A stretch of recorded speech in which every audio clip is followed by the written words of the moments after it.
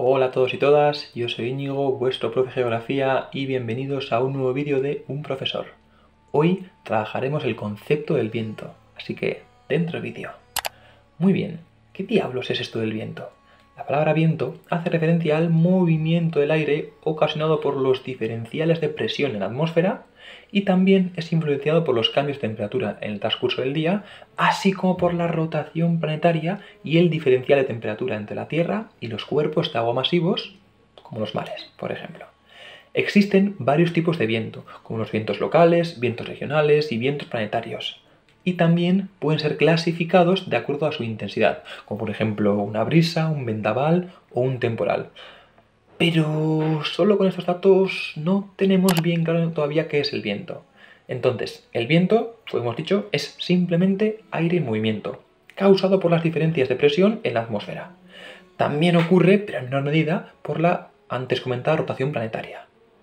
Entonces, el aire siempre está en movimiento y puede variar su velocidad al igual que su trayectoria, aunque es conocido como viento, dependiendo de su intensidad, puede haber otros términos. Por ejemplo, un viento leve se le conoce como brisa. Sin embargo, los vientos más fuertes son conocidos como temporales.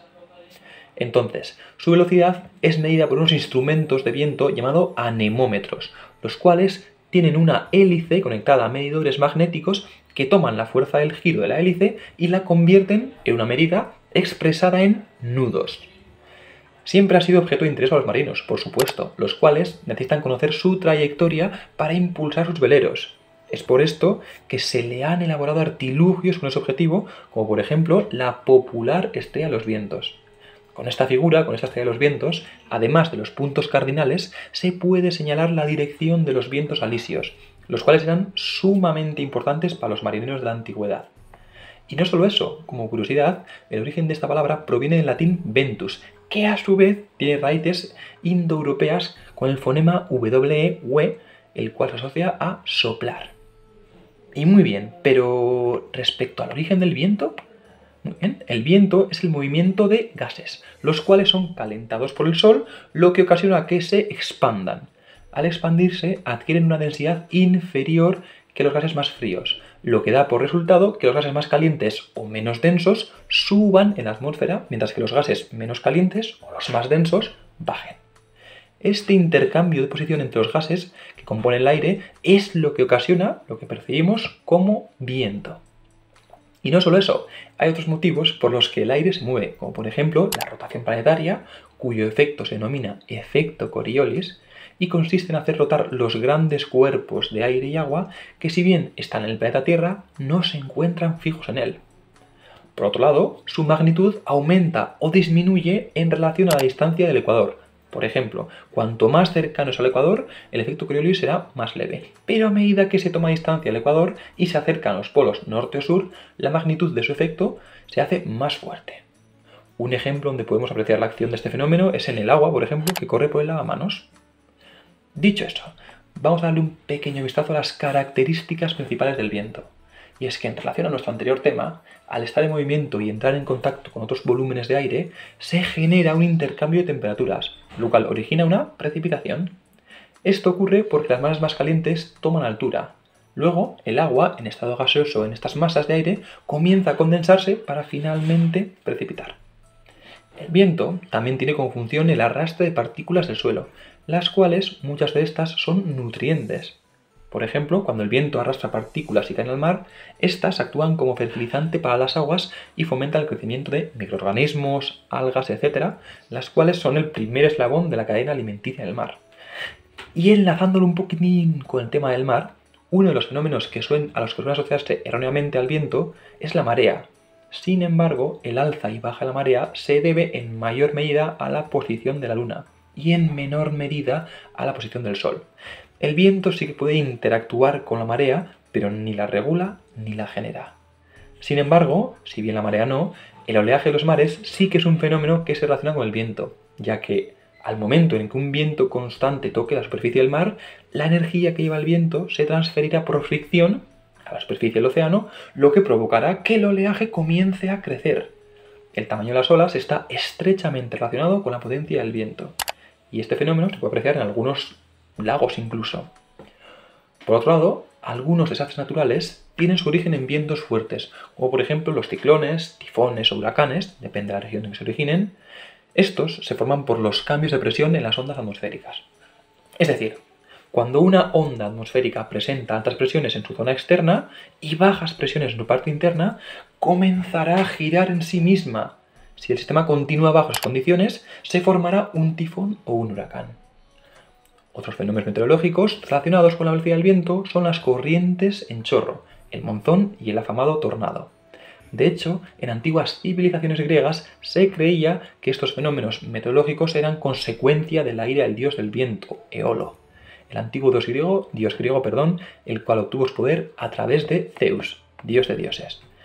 Pero bueno, dejamos a un lado sus características y vamos a darle un repaso a los tipos de viento. Y es que, como hemos dicho antes, existen distintos tipos de vientos, causados por el calentamiento desigual de la Tierra y la propia rotación. Así que vamos a detallarlos aquí. Primeramente, mencionamos los llamados vientos planetarios. Nombre muy rimbombante. Estos son los vientos influyen a lo largo del año debido a las diferencias latitudinales en la presión del aire, las cuales se denominan vientos planetarios. También se llama vientos dominantes y habitualmente soplan desde una sola dirección sobre una área específica de la Tierra. Así, estos vientos planetarios se clasifican en alisios, que son vientos de regiones intertropicales, contralisios, los cuales se ubican en la parte alta de la atmósfera, y circumpolares, que circulan los círculos polares. Finalmente, las áreas en las que se encuentran los vientos planetarios se denominan zonas de convergencia. Por lo general, soplan de, este a oeste perdón, en lugar de soplar de norte a sur. Y esto suele ocurrir porque la rotación de la Tierra gira y genera el efecto Coriolis. Asimismo, el efecto Coriolis hace que los sistemas de viento giren en un sentido antihorario en el hemisferio norte y en el sentido de las agujas del reloj en el hemisferio sur. Muy bien. En segundo lugar, como segundo tipo, encontramos los vientos regionales. Los vientos regionales se caracterizan por ser estacionales y periódicos, los cuales no tienen una dirección constante, de acuerdo a la época del año, pueden cambiar de su dirección, incluso en relación a la hora del día. Las brisas, los ciclones, monzones e incluso los tornados se consideran vientos de tipo regional. Y en tercer lugar, por otro lado, tenemos los diferentes tipos de vientos locales.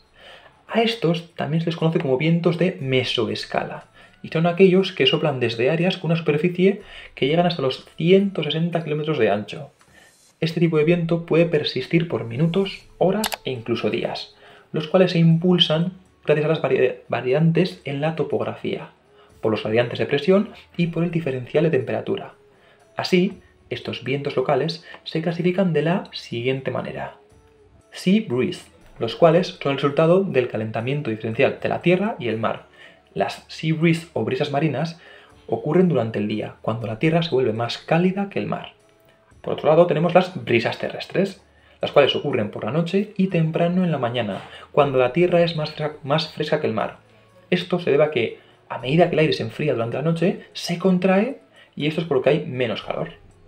En tercer lugar, los vientos anabáticos, que se dan a raíz de procesos térmicos. Los vientos anabáticos se caracterizan por ser de pendiente ascendente y ocurren cuando dicha pendiente es calentada por el sol. Y en cuarto lugar, los vientos catabáticos, los cuales ocurren en pendientes descendentes que se enfrían. Y asimismo, haciendo una pequeña pausa, otro tipo de vientos locales encontramos, por ejemplo, al Foen, que estos son vientos calientes de poca humedad, Mistral son vientos fríos y poco húmedos caracterizados por su violencia. Bora son muy fríos en la zona del Golfo de Trieste, cercanos al Mar Negro y el Mar Adriático, o por ejemplo Bardarak, que es un viento polar que se presenta siempre en invierno. Y muy bien, Íñigo, muchas gracias por la información, pero ostras, verdaderamente, ¿cuál es la importancia del viento? Y es que el viento en los ecosistemas tiene una gran importancia por ser un vector de transportación de partículas, además de por ser el actor principal en la formación y precipitación de las lluvias. Entonces, para el ser humano y el desarrollo de la sociedad, tiene importancia enorme al ser la primera fuente de energía manipulable por el hombre. Y es que ya en la antigüedad los veleros se desplazaban aprovechando la fuerza de los vientos alisios con sus velas, lo que se denomina como energía eólica, básicamente y también ha sido utilizado por los molinos de viento para la extracción de agua o en maquinaria para moler los granos, y todo esto antes del uso de la energía eléctrica o motores de vapor, por supuesto. Luego ya, a raíz del descubrimiento de los motores de vapor y otras formas energéticas, la energía eólica fue dejada de lado por no ser tan eficiente. Sin embargo, nunca fue abandonada. Por ejemplo, los molinos de viento son utilizados hoy día para hacer movimientos de cuerpos de agua.